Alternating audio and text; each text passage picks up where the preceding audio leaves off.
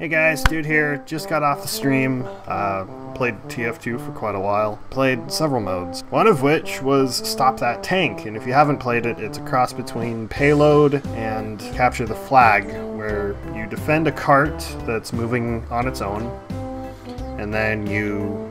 Then if that tank dies, because it has a health bar and red team kills it, uh, if that dies, then the blue team gets a bomb that runs from one point from the point they died at to the next point to the next point and to the final point where it ends in a big explosion of lovely things and it was super fun. So I'll have a highlights reel of it up tomorrow. I'm gonna be editing that today tonight whatever if it ever gets up on YouTube so I can download it and play around with it and be all fancy and do things. Thank you guys for watching Thank you guys for coming if you came to the stream.